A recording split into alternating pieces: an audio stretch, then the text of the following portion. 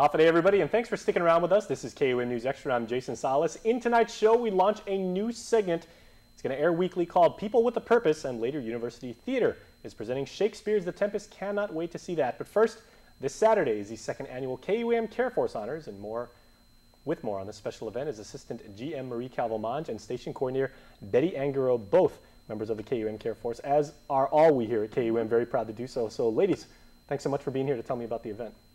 No problem. All right, so it is, it is number two. Last year was an amazing event. We saw so many people come out and just celebrate just the way that so many people in our island community have given of themselves and contributed and make this such a wonderful place to live. So how is this year's honors going to be different? Well, uh, with this year, I mean, as with every year, we like to just perpetuate that uh, community spirit of community service, and that's where the KUAM honors came about. So we're just continuing it this year.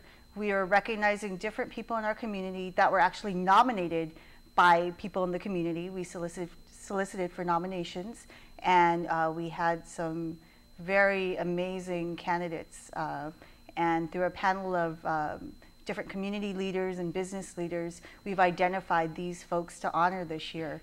Um, and so we're looking forward to another evening of just inspiration and recognition of those unsung heroes among us. And for people that actually want to attend, because it is a star-studded event, I mean, it's a wonderful night overall, uh, how can people check it out? They can call me um, at 635-5836. Uh, tickets will also be available at the door.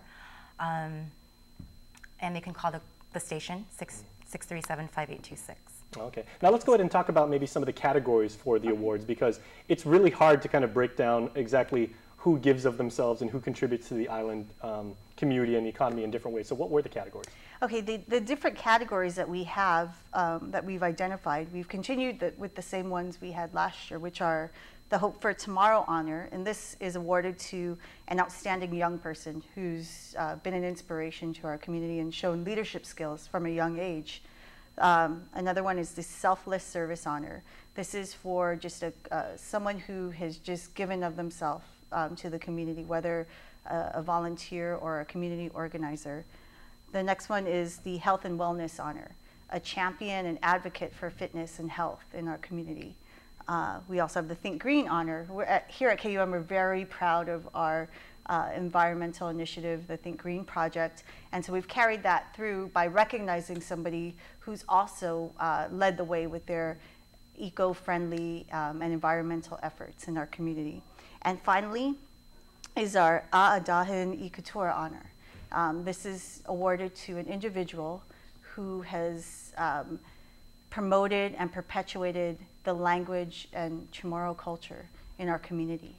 And um, it's, it's an honor for us to honor these people. Mm -hmm. And there are so many worthy candidates, and that's why this, the Care Force Honors Program is something that we know will go on from year to year because one night or one year just can't recognize everybody in our community. So I would encourage people to continue to nominate throughout the year um, so that in the fall, in the years to come, we can continue to honor all these people and inspire others to do uh, you know, generous things for their community as well. All right, well, Betty Ann, we got about 20 seconds. Um, just wrap up, how can people uh, get involved or what can they expect to see? And once more, how can they attend?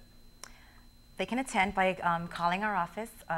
Tickets are on sale. They're $25 and um, they'll be available at the door or they can call me at 635-5836. We'd also like to uh, thank our sponsors.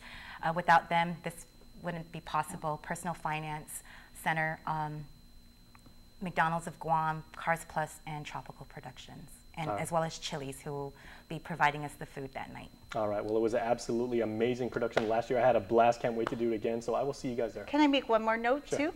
That the proceeds from the evening, from the $25 ticket, are going to benefit the various charities that are designated by our honorees for the evening, the charities they represent. So it's for a good cause as well. All right. All right. Well, I'll see you guys then. Thank you. Thanks. All right. And stay tuned because we will be back right after this.